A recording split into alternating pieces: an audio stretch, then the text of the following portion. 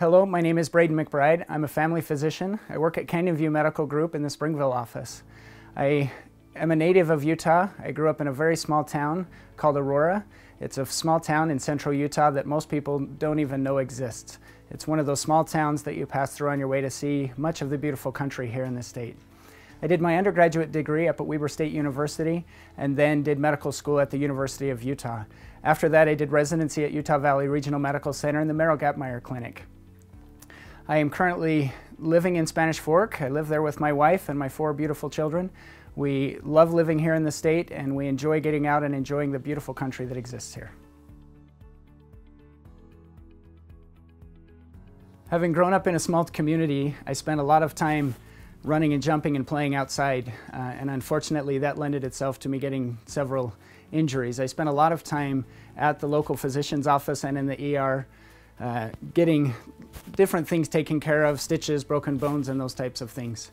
My mother relates a story of one time that I was so used to going to the ER that as we walked into the ER, I just bypassed the check-in desk, walked back into the back of the ER, found an open bed and laid down on it and waited for the physician to come and put stitches in so that I could get back to doing whatever it was that I had been doing at the time. My mother also suffered from some significant medical problems uh, through her life and spent a lot of time in the hospital as well.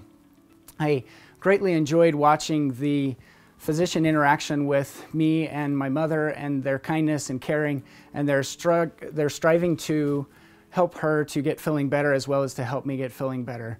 And it was because of the interaction that I had with those physicians growing up that I decided myself that I wanted to go into medicine to try and help and understand patients, to try and help and understand their, their needs and figure out ways that I can help them to get back to being the best that they can be. I enjoy interacting with the many patients that I get to see. Uh, being a physician, I get to interact with patients of all different types, um, being young kids all the way up to grandparents, uh, and I enjoy all of those interactions. I enjoy the variety that I get to see by doing family medicine. Um, each office visit is a little bit different. Uh, each door that I walk into is a little bit different of a patient, uh, whether that be a different problem uh, or different symptoms or a different patient altogether. And I, I really enjoy getting to know my patients and understanding them and who they are because I think that's an important part of medicine is understanding those patients and what their needs are and trying to figure out ways that I can help them uh, to obviously get feeling better but also to be better themselves eh, through lots of different ways.